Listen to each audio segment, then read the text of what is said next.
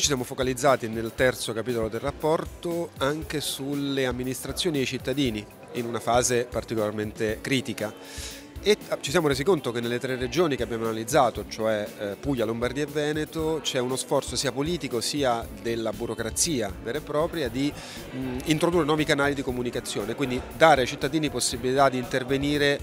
prima che le decisioni vengano prese, di modo da mh, alimentare la fiducia e anche rendere le politiche più partecipate. Il dato interessante è che in due regioni su tre, eh, parlo in particolare della Puglia e della Lombardia, in parte anche nel Veneto, i programmi politici avevano già una parte sostanziale di partecipazione. Nichi Vendola per esempio crea le fabbriche di Nichi, eh, Emiliano fa le sagre della partecipazione, Zaia nel Veneto fa eh, un sito web su quale i cittadini possono partecipare e quello di cui ci siamo resi conto è che poi nella fase di attuazione, quindi dopo l'elezione,